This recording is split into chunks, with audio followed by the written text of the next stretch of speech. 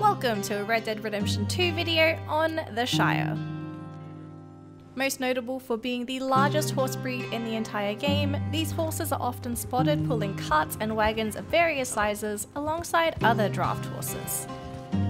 As mentioned, Shires are draft horses, meaning their stats, although not very impressive, are slightly better than most riding horses, the kicker to their draft class is the heavy handling, meaning Shires will feel sluggish and non-responsive when ridden, expect wider turns and compromised reaction time when controlling this breed. Shires come in three different coats. The common coats include the dark bay and a light grey variant.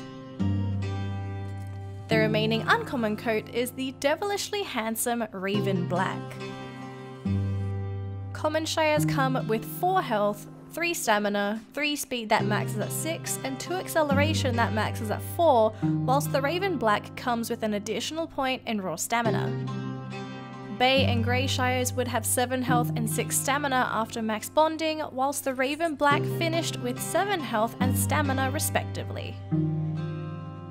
Shires are tough nuggets in the middle of a fight, but the fact that they're so difficult to maneuver makes them a questionable choice for mounted combat, be careful while shooting from horseback, watch your surroundings, and don't be afraid to fight on foot instead.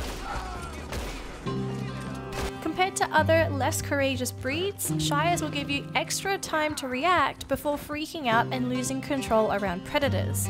Just don't push them too hard, they'll still throw you off.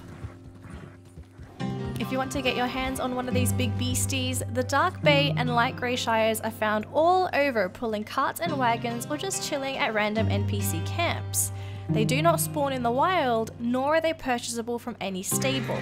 Remember to rob wagons in remote areas if you don't want the law to slap a big old bounty on your head, you hear?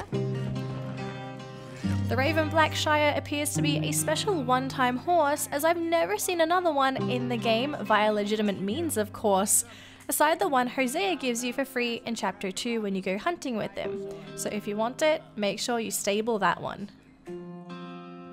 To wrap things up, if you're looking for a free, easily obtainable health tank, the Shire might just be the thing you're looking for.